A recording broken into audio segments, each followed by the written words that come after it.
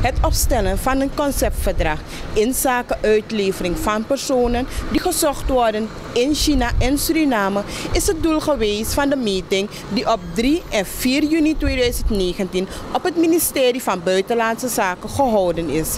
Roy Bainat Pandey, procureur-generaal, tevens delegatieleider, vertelt ons meer over deze meeting.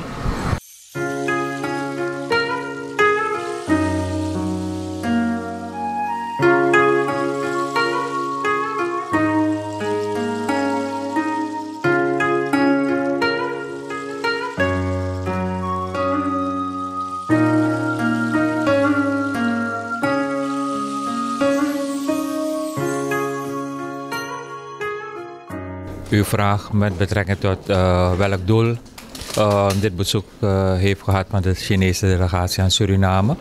Daarop kan ik u als volgt antwoorden.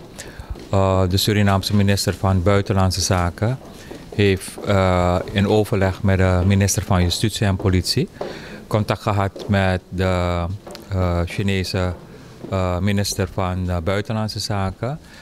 Ten einde na te gaan op welk moment Suriname en China gesprekken zouden kunnen starten. Met het doel om een verdrag voor te bereiden uh, met betrekking tot de uitlevering van personen.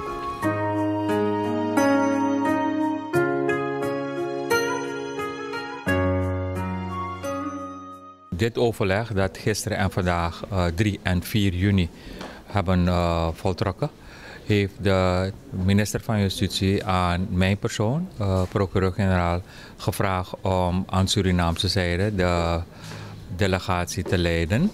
En hebben wij aan de Chinese zijde uh, het hoofd van de afdeling dat te maken heeft met uh, uitlevering.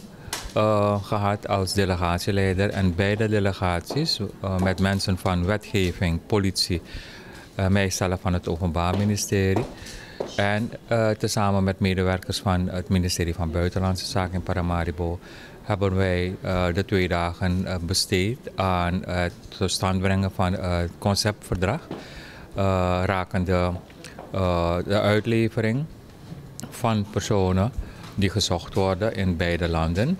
Maar ook met betrekking tot gevonniste personen zijn er paragrafen opgenomen in het conceptverdrag die het mogelijk maken om gevonniste personen aan elkaar ook uit te leveren.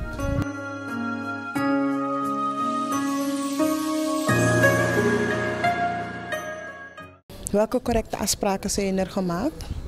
Wat we nu uh, bereikt hebben is een uh, conceptverdrag uh, waarin en Suriname en China met elkaar hebben afgesproken dat dit concept aan de wederzijdse autoriteiten worden aangeboden.